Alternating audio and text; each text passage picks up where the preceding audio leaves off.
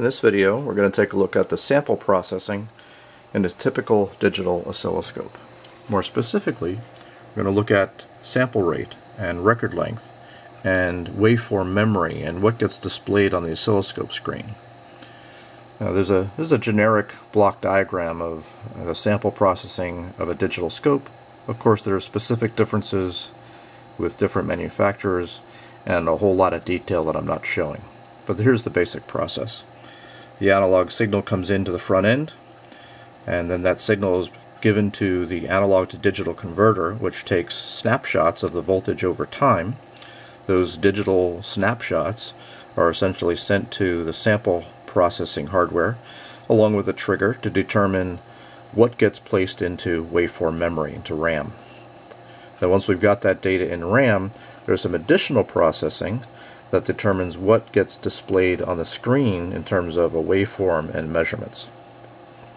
Now of course the sample rate is nothing more than how quickly we're taking voltage snapshots of the input waveform and is simply 1 over the time difference between the samples. So the three parameters are really intimately linked together. We have sample rate and our horizontal time scale which determines the total duration of the waveform we're going to capture. And that's typically you know the nanoseconds or microseconds per division that you've got set up on the scope. And then, of course, the waveform record length, which is the number of samples that we store in RAM. Okay, and it's really just uh, a quite a simple thing. We take our sample rate, which is samples per second, and for how long are we going to do that. So it's really just a product of those two that, that determines the overall record length. Here's an example. At a sample rate of 5 gigasample per second and a horizontal time scale of 20 microseconds per division, um, we can figure out the record length by simply looking at this equation. So 20 microseconds per division times 10 divisions gives me 200 microseconds of duration, okay, time duration. 200 microseconds of time duration times 5 gigasample per second gives me a million sample points. And you can see that if you adjust the time per division up or down, the amount of memory will, will be different. If I adjust the amount of memory I have, then I will have to adjust you know, one of these other two parameters because it's really simply that relationship. So let's take a look at this in a little more detail. Okay, so it's quite simply this equation. Record length is equal to sample rate times time duration. Of course, every manufacturer is going to give you different controls for uh, controlling this. And as you can see that at longer time durations, obviously slower time per division settings, a lot of memory is required for a given sample rate. So normally what happens is that at these slower time-based settings, uh, a the sample rate is reduced in one way, shape, or form. So the key question is how? How is the sample rate reduced? And that really is something called the sample mode in most of these digital oscilloscopes. And the most common way uh, is something called the just the sample mode or normal mode. And what that typically means is let's consider this situation. I've got an analog waveform coming in. Let's say the raw sample rate is sampling every division on my graph paper here but I really only need you know every say fourth point. Uh, the sample mode or normal mode typically takes just one point out of that whole desired sample interval and saves it. So maybe that one, and this one, and this one, and this one, and throws away the rest of the points. It's a process called decimation, and that's typically how that works. And, the, and it works really well, and it's really fast and easy to implement. The problem is that you might throw away points that would hide, you know, maybe a glitch or something like that. So there's another sample mode called peak mode or peak detect mode. And what that does is it looks at you know these sample intervals and saves the highest and lowest values in the adjacent sample point uh, sample intervals and saves those values. So now you'll know if I had a glitch or a peak or something like that that you might want to go take a closer look at. Now another very interesting way of reducing the sample rate is to use what's called high resolution mode. What high resolution mode does is it takes all of the samples that occur in each of those desired sample intervals and averages, averages each of those together to a single point for each sample interval. Okay, and the result of averaging those points to a single point is essentially a little bit of a low pass filter and essentially getting some enhanced vertical resolution. Now all of these sample modes will work on you know, single shot situations where I do a single acquisition and I display the data. Now if we consider taking multiple acquisitions, we can add some more modes, something like an envelope mode. An envelope mode is really nothing more than the peak mode, but then updating the min and max values with, with new acquisition data so it can keep track of the, the min and max that are really happening over time. And also we have an average mode that we can use. Average mode is basically the sample mode, but then averaging those sample points together from multiple acquisitions. So these are the typical sample modes and things like that. And, and every scope, every manufacturer is going to give you some different controls for controlling the sample rate and the sample mode and the record length and things like that uh, is going to vary. So you really need to learn you know, how yours works. The example of this, uh, this Tektronix scope here that runs at say 5 gigasample per second, uh, the controls for this are, are actually all under this acquire menu right here. So we would set, say, in the horizontal position, set our horizontal scale to determine how much of a record length we want to capture. Okay, and then under the acquire mode, we can we can determine how much you know record length we want. And the nice thing about this scope is it really shows you everything that's going on. If we look here, I can see I've got a 200 microsecond per division horizontal time scale. I've got set to 10,000 waveform points in my waveform memory, which results in 5 megasample per second. Okay, you can just do the math uh, for that. It's actually pretty easy. So um, now the scope, of course, is sampling at 5 gigasample per second. So there's an awful lot of decimation going on in using the sample mode here. But uh, the way to determine uh, what we're what we're doing here is we can see the sample mode uh, right here uh, is actually using the sample mode.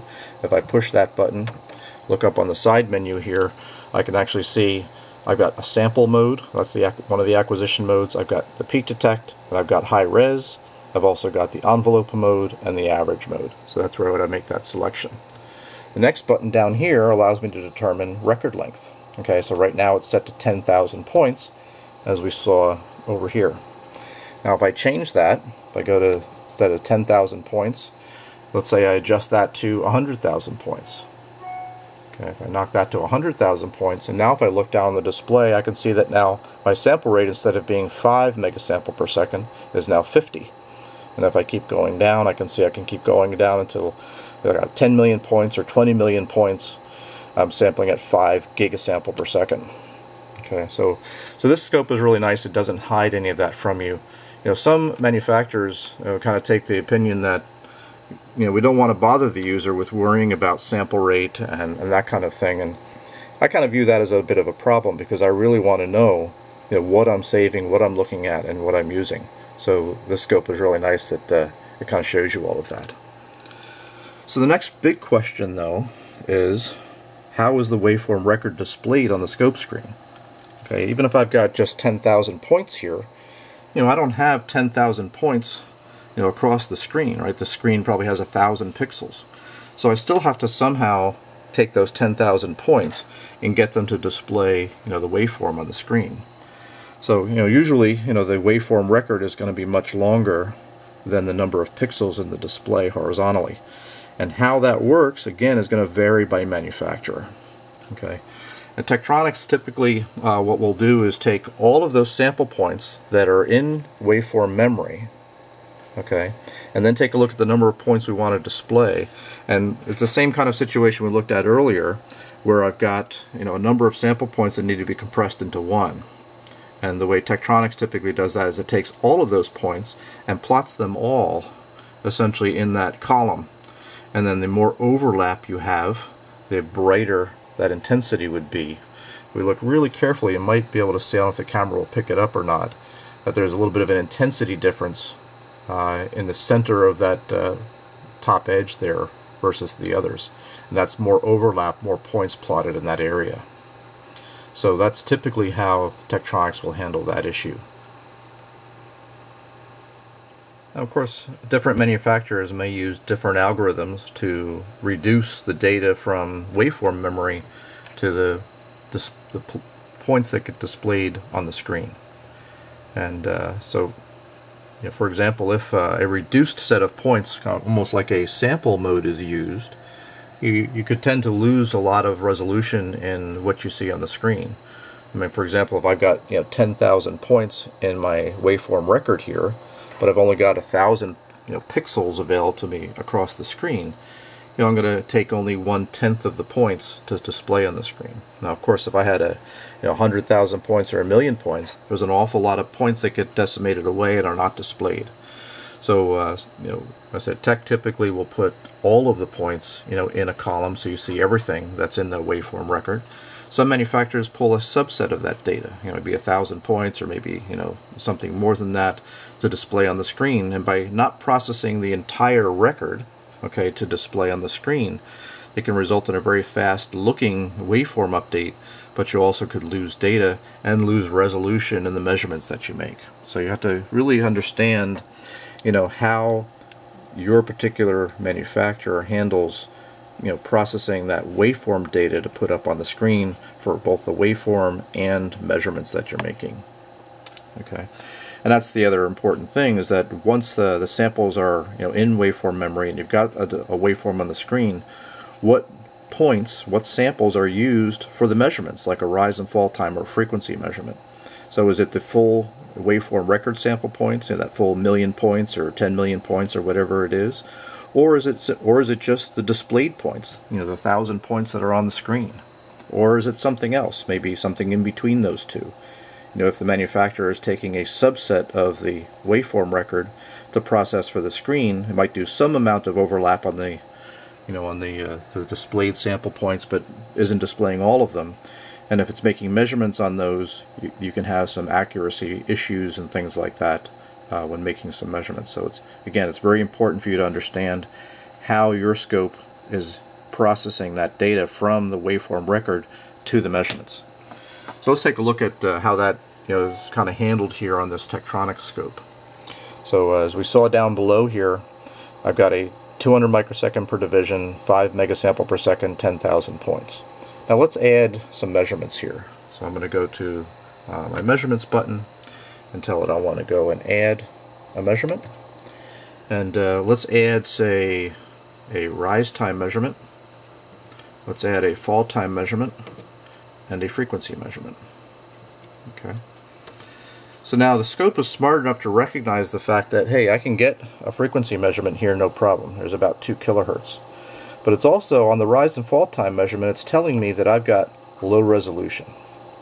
So the scope is recognizing the fact that, you know, at, at only 10,000 points, at, you know, at this time-based setting, I'm running at 5 megasample per second. So, uh, I, and I haven't sampled enough data points, okay, to put enough points along that rising and falling edge to make that measurement accurately. So this is your key to know that, hey, I need to increase my sample rate, okay, in order to get better measurements here. So I really can't believe these numbers but at least but you've got an indication here that's telling you what's going on. So what we want to do is simply control, you know, or basically improve our sample rate. We're, I want to keep the time base the same, so I'm going to leave that alone. So the way that we bring the sample rate up is we just tell it to use more samples. So the way we do that here is I simply bring up the acquire menu on the horizontal uh, controls here. And then in the acquire menu I can see the mode I'm using is sample, and that's fine, but the record length right here is 10K. So let me hit the record length button and I can go pick a new record length. So instead of 10,000 points, let's go to say 100,000 points. Uh, 100,000 points, I can see my sample rate has bumped up to 50 megasample per second. Okay, I still are showing low resolution, so I'll bump the resolution up again. Say there's 1 million points. So at a million sample points, or maybe even 5 million sample points, or 10 million sample points, I can kind of dial that in now I can see with a 10 million sample point record, I'm running at 5 gigasample per second, still at that 200 microseconds per division, and now I can see that my rise and fall time measurements are being fully populated. So now I can see that they're about you know 12 or 13 nanoseconds. And uh, if the scope was you know doing some tricks in terms of only pulling a subset of that waveform data out to make the measurements and to do the display, I wouldn't be able to make say a you know a 13 nanosecond rise and fall time measurement on the same screen as the 2 kilohertz uh, frequency measurement. You know, I would have to probably go in to make rise and fall time measurements, you know, speed the scope way up so I can actually see the rise time and make the rise time measurement that way. and then maybe adjust some settings to make the fall time measurement, adjust some settings to make the frequency measurement. But by having full control over what's going on in the time base and the record length and the number of samples that we're using, etc., you can ensure that you get good accurate results here. So I just uh, made a bunch of changes here. There we go. So we can actually see the actual measurements being made. So in a sense, it's really a trade-off of how snappy and fast you want the interface to be versus you know, being able to show accurate results. So Tek has kind of always opted on the side of uh, you know, making sure that we make our measurements on the full record length that is sitting in waveform memory. Okay, and then uh, and then telling you when that record length isn't sufficient or the sample density isn't sufficient and giving you some very clear indicators of what's going on in terms of waveform points, sample rate, and time base so you can you know, make those adjustments as necessary to get the accurate results. So that's a you know kind of a brief tour of what goes on typically with uh, waveform processing, sample processing in a typical digital oscilloscope and, uh, and some of the concerns and things that you might want to think about uh, when considering how your scope is operating and how it's making measurements. So thanks for watching. I realize I didn't cover you know, a lot of details about how you know, how many waveforms per second we get to the screen and you know a lot of other things that happen in these digital scopes but the idea with this video is simply to show you know, how the processing uh, you know, flows through the instrument and the considerations that you need to keep in mind when setting up the scope to make some accurate measurements with the waveform data you have in memory. Thanks for watching. Comments are welcome, and uh, talk to you again soon.